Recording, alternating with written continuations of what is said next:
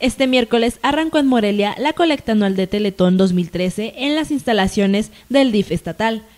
El coordinador nacional de recaudación Teletón, Ricardo Armas Arias, informó que Fundación Teletón decidió modificar la modalidad de colecta. Que este año desapareció el boteo.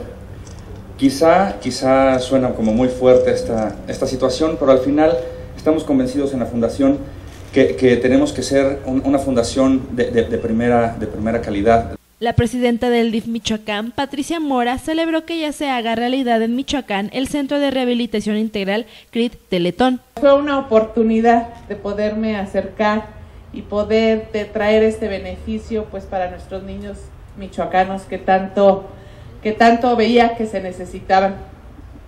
Y sobre todo, pues darle las gracias a todos los michoacanos que apoyaron la colecta.